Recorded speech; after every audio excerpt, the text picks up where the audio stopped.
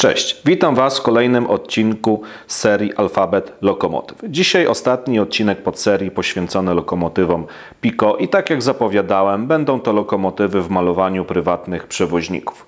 E, za jednym wyjątkiem, a ten wyjątek właśnie tutaj podjedzie.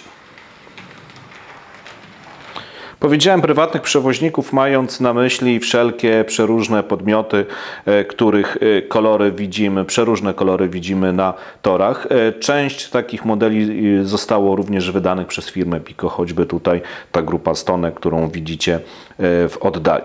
Jednakże ta pierwsza stonka jest w malowaniu PKP Energetyki, czyli spółki powstałej po podzieleniu PKP na mniejsze. Pamiętamy na PKP Cargo, PKP Intercity, PKP przewozy regionalne, PKP PLK i tak dalej, wiele, wiele innych. Jest tutaj też PKP Energetyka. E, stonki te są naprawdę przepiękne, żółto-czerwone, bardzo charakterystyczne i czasami mm, możemy je spotkać na torach, najczęściej nie samotnie, lecz z pociągami technicznymi. E, to jest e, lokomotywa SM42 o numerze inwentarzowym 822. No i cóż, e, kolejna stonka jest to stonka numer 16 w mojej kolekcji. Zrobimy nią kółeczko.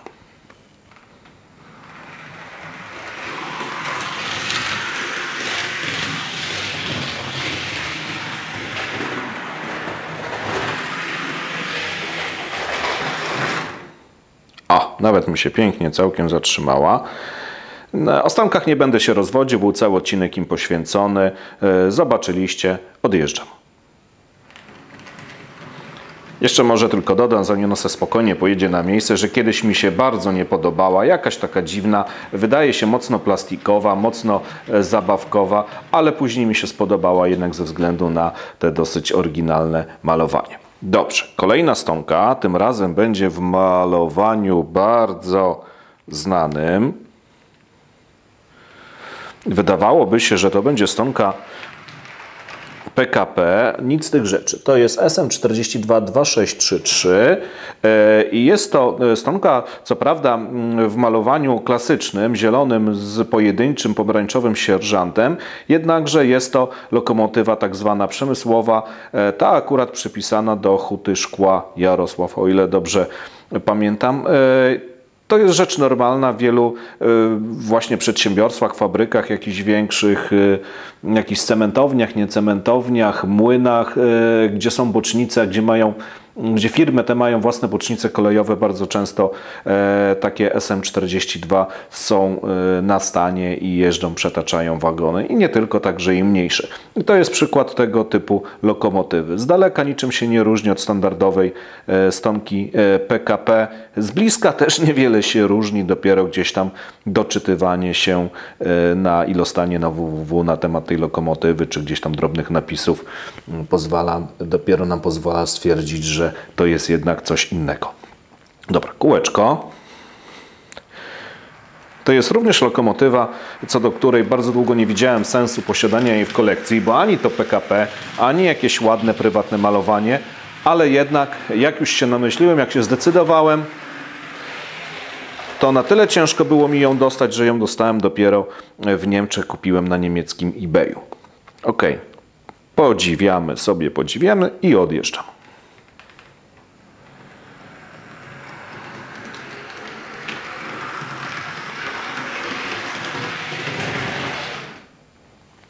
Oczywiście cały czas pilnuję, żeby nie uderzyć poprzednią stonkę. E, wstukuję adres kolejnej i już nią podjeżdżam.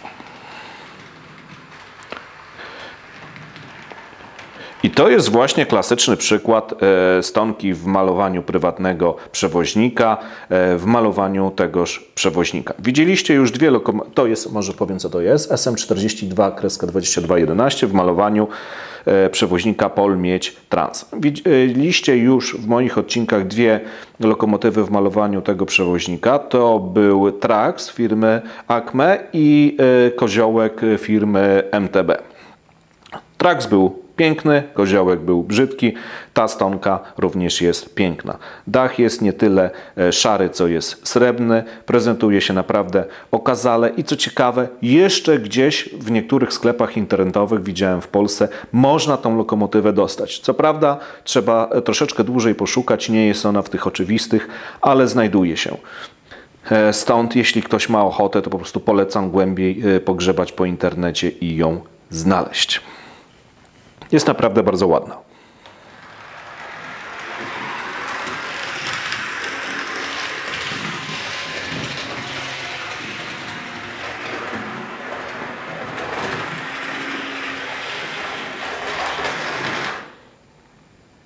Oj, już. Fajnie się jechało, fajnie się zatrzymało. Odjeżdżam. Mówię w czasie przeszłym, bo e, jednak e, boję się o to, co nastąpi za chwilę. E, za chwilę spróbuję podjechać kolejną stonką. Ze stonką tą miałem już problemy. Widzieliście je nawet na jednym filmie. Mam nadzieję, że tym razem problemów nie będzie. Jeśli będzie, to trudno.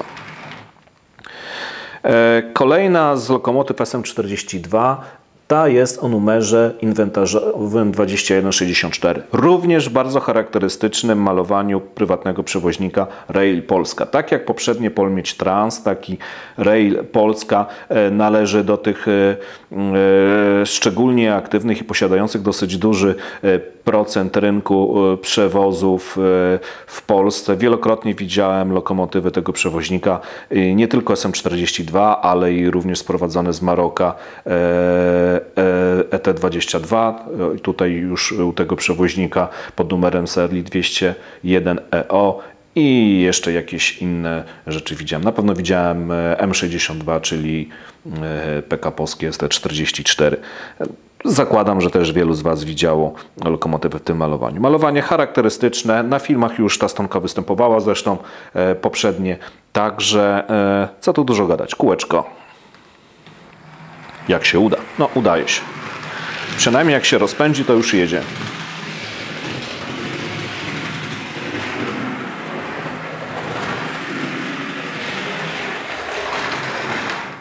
Stop i odjeżdżamy. O, jedzie. Obyło się na szczęście bez problemów. Stop. E, Kolejna lokomotywa kolejnego prywatnego przewoźnika. E, Znowu jest to przewoźnik e, znaczący, Mm, tak jak i Polmieć Trans i jak Polska, takoż i CTL Logistics jest firmą, którą miłośnicy kolei znają. Także i to malowanie. To jest malowanie, które zostało wprowadzone parę lat temu. No nie jestem tutaj z, e, z PR-u e, tej firmy i nic więcej na ten temat nie powiem. Jednakże ja od kilku lat je widzę. Wcześniej był inny schemat malowania, e, taki e, jakiś niebieski czy tam fioletowo, żółto, fioletowo, pomarańczowo, biały, w zależności od lokomotywy. E, Posiadam w sumie kilka modeli mm, w malowaniach tego prywatnego przewoźnika i w tym e, nowym e, i w starszych. No dobra. Kółeczko. Aha, SM42 e, 2323, łatwy do zapamiętania. Niestety nie udało mi się akurat tego egzemplarza nigdy spotkać e, na torach, czego niezmiernie żałuję, choć inne numery inwentarzowe SM42 spotykałem.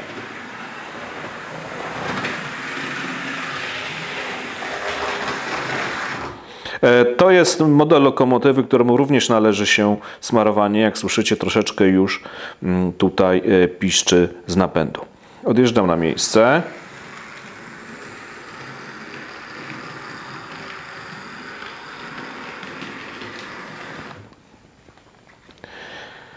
A teraz podjedzie coś tego samego przewoźnika, lecz zupełnie inna lokomotywa.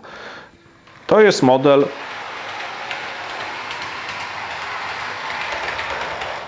No może nie biały kruk, ale zdecydowanie z takich e, rzadszych, bardzo rzadko pojawia się ten model na e, rynku wtórnym, w odsprzedaży.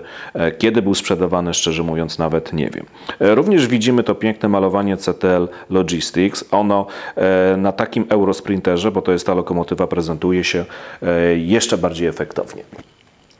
E, To jest akurat e, lokomotywa AS64 e, F4, tak jak powiedziałem, Eurosprinter o numerze inwentarzowym 011.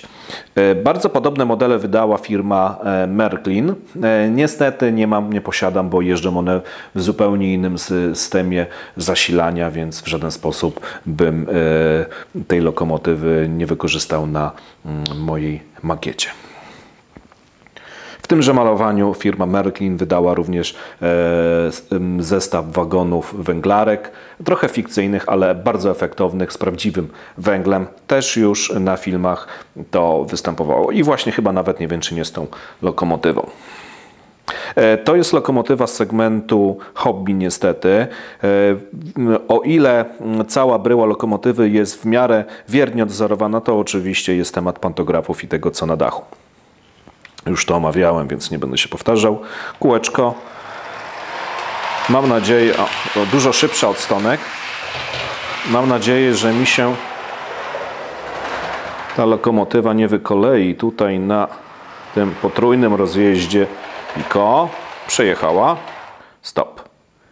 I do rządka.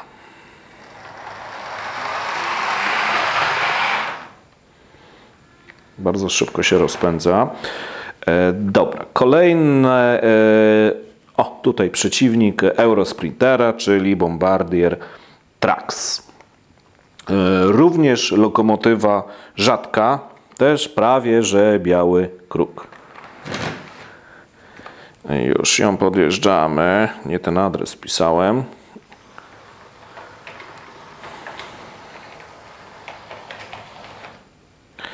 Dobrze, stoimy. Malowanie przewoźnika Lotos. Prześliczne. Jest to niestety moja jedyna lokomotywa w tym malowaniu, a to jest klasyczna lokomotywa y, do prowadzenia wszelkiego składu beczek. E, Domyślam się, że jak teraz zobaczyliście, że ją mam, to zaraz e, będą życzenia. Ok, zrobimy jeden skład beczek, ale jeden. Nie więcej, nie przestawiane beczki w konfiguracji najpierw brązowa, później biała, najpierw e, biała, później brązowa i tak dalej. Nie, jeśli już zrobimy e, jeden e, reprezentatywny, oczywiście nie, wie, nie więcej jak jakieś 8-9 sztuk, bo nie pojedzie, to już na moich filmach też widzieliście, bo nie pojedzie, będzie się wykolejał, więc kilka beczek i ta lokomotywa. Kto zamówi, to zrobię. Kółeczko to jest, jak widzicie, lokomotywa spalinowa, trak spalinowy. Nie za dużo po polskich torach ich jeździ. Praktycznie widywałem e, ten oryginał właśnie e, identyczny, który, który model tutaj jedzie. Mm, A tak szczerze mówiąc nie widywałem innych na polskich torach. W Niemczech e, ten model Traxa jest całkiem popularny. Stop i już podjeżdżam. To e, lokomotywa kupiona jako używana na Allegro, ona ma troszeczkę uszkodzeń, one są naprawione, poklejone, ale niestety ślady kleju zostały. Nie jest to najlepszy model. No i do tego jest e, dosyć już e, zmęczony też napęd. Próbowałem go nawet smarować już ten napęd, ale jakoś nie jestem w stanie go posmarować tak, żeby to nie, nie rzęziło. Nie wiem, czy to wprost z silnika nie są odgłosy. Dobra, to były dwie lokomotywy używane, inne od stonek, a teraz podjadą dwie, które są praktycznie niemalże nowe. E, Poza tym prezentowałem je jako nowości, a drugą z nich wprost w, e, w unboxingu, więc już je znacie, w filmach też występowały. Ok, wklepuję numer. No jedziemy, jedziemy. Co się dzieje? O, co się dzieje? Nowa lokomotywa, a tak się zachowuje. Proszę bardzo, i powiesił się tutaj dekoder. Jeszcze raz spróbuję wpisać. Napęd OK. Stop. może to jest kwestia, że sobie poleżała parę miesięcy w pudełku i coś jej zaszkodziło, jakiś tam pyłek się może dostał, gdzie nie potrzeba.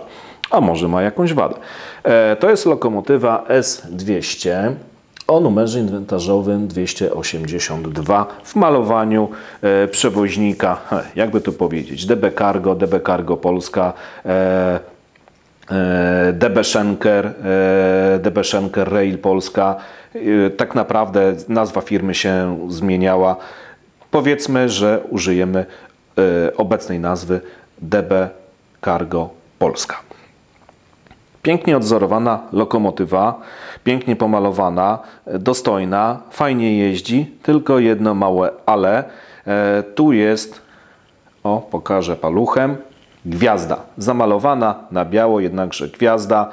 E, była na formie mm, modelu i ona występowała w innych edycjach e, tego, te, modeli tej lokomotywy, w czeskich, rosyjskich, bo to jest, to jest zdaje się, e, tak zwany ćmelak, czmelak, czy jak się to wymawia, czyli lokomotywa e, trzme 3, tak? 3, chyba 3. Ok, kółeczko ćmielakiem.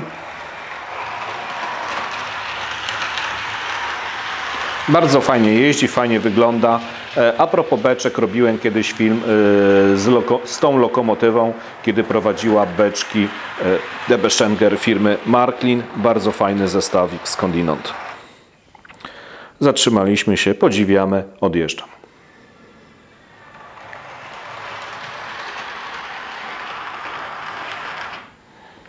I ostatnia lokomotywa, ją naprawdę y, też doskonale znacie, już bez rozwodzenia się. Ludmiła, czyli niedawna e, nowość firmy Pico. E, no dobra, nie będę przedłużał, kółeczko i zjeżdżamy.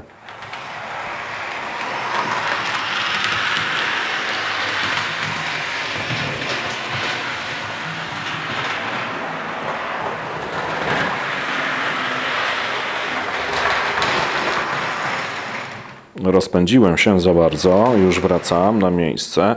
Tak, ostatnie zdjęcie, ostatnie chwile podziwiania, a może o, zatrzymam ją i na najniższym biegu ta lokomotywa jedzie tak. Doskonały napęd, proszę bardzo, jak to mówią yy, modelarze, liczy podkłady. Niesamowicie to wygląda. Dobra, podjeżdżamy już szybciej, bo nie doczekamy końca filmu. Stop.